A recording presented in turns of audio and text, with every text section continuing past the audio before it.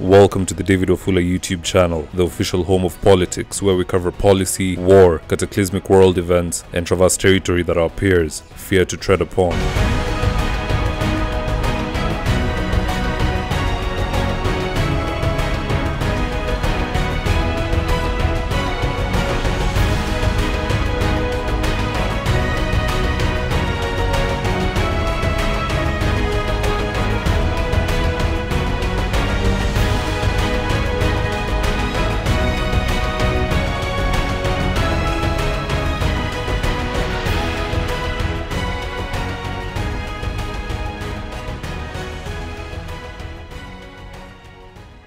Alright, here are today's top stories in our What in the World segment. Number one, the Justice and Legal Affairs Committee has approved the creation of 22 positions for the CAS as Chief Administrative Secretaries. Now, here's what this means moving forward. Number one, initially, there were 50 who were proposed by the President, and they even went to State House. They gave their oath of office in front of the President. It was a whole ceremony. But now, of that original number of 50, 28 proposed CSs are going to be knocked off the list despite being proposed by the president. And because of that, of the 28 who will ultimately have to be axed, because there's only 22 legal positions, of those 28 who are going to be axed, I anticipate that at least five will be scorned and ultimately turn on the national government. That's just how politics is. And if you look at who is going to get those positions, who is not, it's all about who has been true to the government and who has not. There are those who, much as they've not been CASs, they failed to clinch the position because of legal battles and whatnot. They've remained steadfast in supporting the president and the deputy president in their agendas. There's others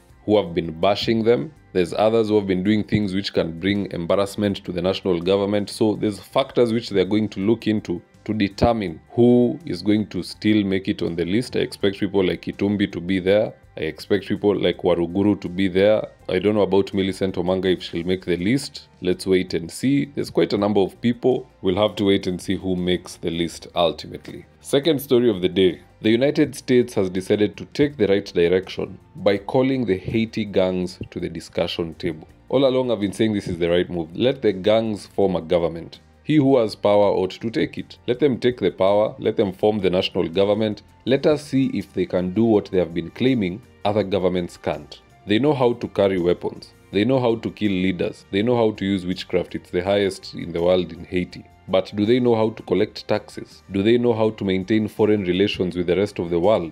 Do they know how to win the people over and maintain their support over a long term period? If they can, well and good, let them form the government. If they can't, it'll be eggnog on their faces because it'll probably be another gang which does not agree with the gang that was handed power and they're going to be trying to remove them and the battle continues and continues. And if that is the case, that will justify a military intervention to wipe out whichever gang it is that's continuing to cause chaos to the last man because this has to come to an end eventually. And uh, we are hoping this move of bringing these cartels to the discussion table is going to end this. We saw how afghanistan was a war-ridden country but the taliban have formed government and the country is okay. You can get a visa today and go to afghanistan provided you don't break their laws. You can go there do what you need to do and leave. So this is a better move. It is way better than thousand kenyans going there to try and fight these gangs who have been born to fight for years and years and years, and it's probably what they're going to die doing. Third and final story of the day Ali Hassan Joho, as time goes by, he seems to be a very serious contender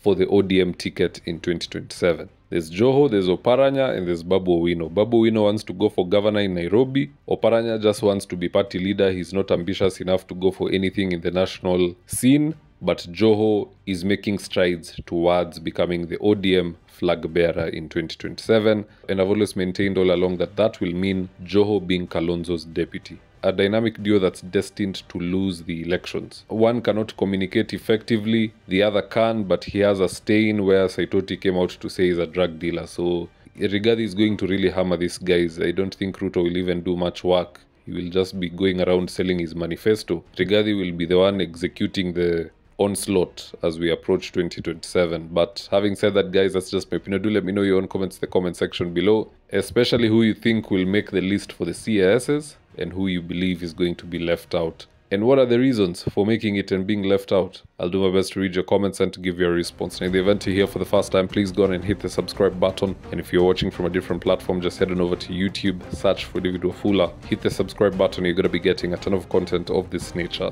If politics is something you're passionate about, this is definitely the one channel that you really, really need to subscribe to. Alright, guys, adios.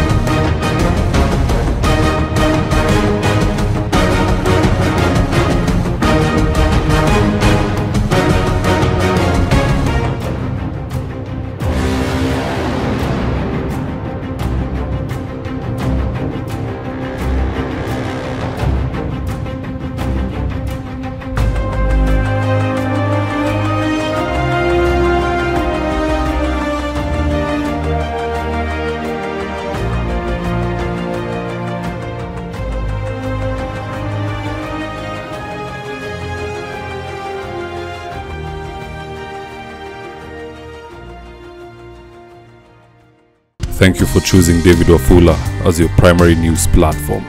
We put countless hours in research, recording, and editing.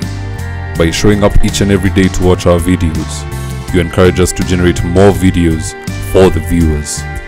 We are on a mission to inform, educate, and build a better tomorrow. To our thousands of followers in a world full of presidents, kings, and queens, you are the real gem. Adios.